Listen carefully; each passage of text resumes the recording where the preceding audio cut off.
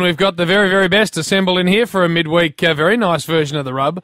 Uh, Bill's here, of course, always is, but Damo's been good enough to wander in, the newsbreaker extraordinaire, as has Gary, the lone wolf Yes. lion, and this is very rarefied air. Well, I was worried about you after today's lunch. Now, I believe you've mm. spoken about it for the Triple M Rush Hour Yes. listeners that just Oh, joined. We had a very big function at the VRC today, you Warrior. What happened, Gaz? Because Well- it's been the talk of town. I'm surprised you're not over it being the number one newsman in this town, but it was I wouldn't ice, an eyewitness ice, account. icy sort of stuff. When, Ice, ice baby. when Brian Taylor, our former man, the Bristol cross paths with our main man Jim, and a full coming together of like two big bulls in a paddock, and there was a stare down.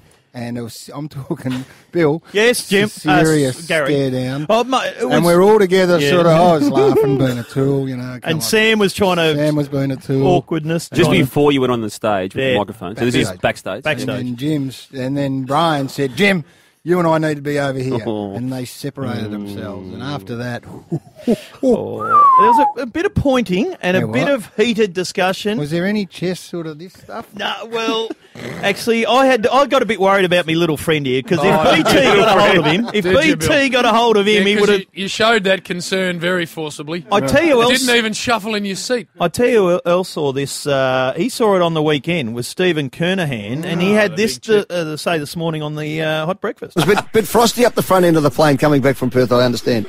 I was as flat as a tack, but it did liven it up a little to see the, the big bristle walk in, absolutely thumbing his nose at everyone in the plane. And, and when the plane, before it even touched down, he was standing up there ready to charge out, so he didn't have to speak to race or Lyon and Frawley. It was pretty funny. Uh, Oh well, Big Sticks was all over it too. Don't worry, Big Chip loved it. He was all over it. He did love it. Anyway, as I said towards the end, because I got to be uncomfortable to be honest. Bill. Why did, we did all you, did. Gary? I don't mind a bit of tension, but I, I like Did- to have did it. you, Gary? I like to have it resolved, uh, Warrior, by the end of the day. I've heard it's actually worse than it was. I said that the two of the big heavy hitters, while Spud um, and Chief and I tried to wrap up a very insightful uh, look at the games, I said, before we go, come on, there's two and a half thousand people in the room. You two need to just sort it out. And uh, Brian just gave scant um, acknowledgement of, of our boy Jim. And then Jim said, gave it about three seconds thought and said, no, frick it.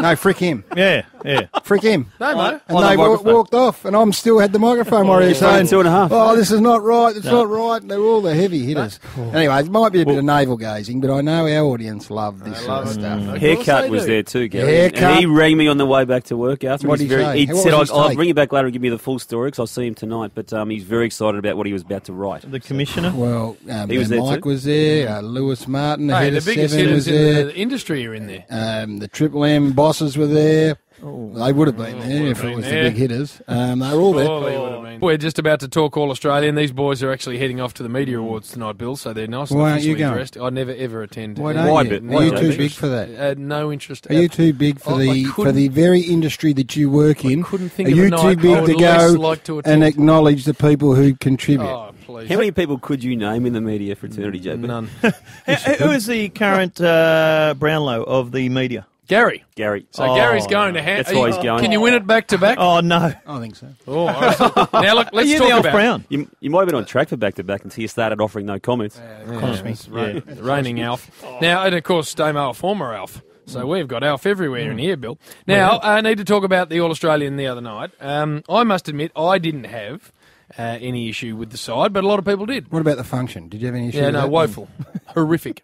No, I tell us, spoke tell to us the- what you read. I spoke to the two IC of the AFL today, and I said that that should be one of the great nights in football because I think there's Why no, it no good? no higher honour except for a premiership that a player can receive. So Mm-hmm. it should be taken very seriously, and it was appalling. Didn't Why? get any food. Oh, no food, no atmosphere, theatre seats. The thing was over in an hour. It was junk. What Well Mrs. B hosted by Jason. No, Jason did a fine job, and I mean that he was absolutely fine. But it was just a, the whole thing was rubbish, and they've got to scrap it and start again. Mrs. B like it? And she didn't go. Didn't go. And boys, have a listen to this. So we finally found it. Our good mate Sausage. On the half back flank from the Western Bulldogs, Robert Harvey. At the centre half back from Collingwood, Sam Reid. Now, what was his excuse? I don't think he had an excuse. He just couldn't believe it. I, I'm sticking up for him. He was under a lot of pressure. Oh, what sort of pressure? Calling out the half back line is not a. Didn't he have an envelope in front of him? Gary, wasn't he Sausage. reading off an envelope? He'd Come just on, spoken sausage. to uh, Robert Harvey uh, before he went on stage. Really? I hope he does. I hope he's not calling the names out for GWS. Oh. Draft. He goes with Damien Barrett instead of Damien. Um, Someone who can play. Firstly, I know, uh, and you're aware of this too, Damo, that our man, the Lone Wolf, is very much a television connoisseur to the point where he could actually be a writer on the subject. A critic. Critic, no doubt about it. And Two and a Half Men, More- uh. Ashton got wandered out last night for the first time. Your thoughts? I'm more. I work more off Broadway. I'm a more of a, a Foxtel sort of, uh, in the National Geo area. But I did um, turn my attention to Two and a Half Men because, uh, from a nine perspective, Jim losing that, like we lost half our programming when that went off air. But it's back. And don't worry, and I, back? I, I watch with a deal of trepidation about Ashton Kutcher uh, as the as the lead man, and I have to say I was very very pleasantly surprised. I thought there was some crisp stuff. I was very interested to see how they're going to deal with the, the moving on of Charlie. Yep. Um, and in actual fact, the start of it uh, was at the funeral, and some very special guests turned up. I know this is a, a very sad day for all of us. Speak for yourself. Gave me herpes. Chlamydia. Vaginal warts. He also loved being spanked. While wearing my panties. He used my panties to make tea. Charlie owes me $38,000 for some, let's say, pharmaceuticals. So it was a bit macabre because I was sort of talking about the real Charlie, but Yes. pl- talking him through his character. uh, there's some cameos from Jenny McCarthy, of course, of uh, very, I'm not sure what she's famous for other than Playboy, but a very good operator there. Nice movie. Uh, Seen her there, uh, Jeri Ryan, I think she was off Survivor. he and I- owns a caravan. She might also have appeared in Playboy. Yes. Um, and then uh, it sort of moved on about uh, they had to rent his house because Charlie owns a house, and then they had Dharma and Greg came through as potential people who were going to buy it, and that was pretty crisp, I thought. And there was one other that uh, escapes me at the moment. Well, while you're thinking, 2.293 million viewers Australia wide saw it, 27 million in the States. huge in America. That is extraordinary. and of course, it followed up later with the Charlie Sheen roast, which we Yes. can't talk about because it's family friendly show. Oh, mate, it was a, did uh, Channel 9 have a good look at that before they put it well, there? I didn't because I went to bed, but I was Oh, a bit there's tired. a bit happening on that. But uh, I liked it. I, Ashton Kutcher, or Kutcher, I don't know how you mm-hmm. pronounce it. Yep.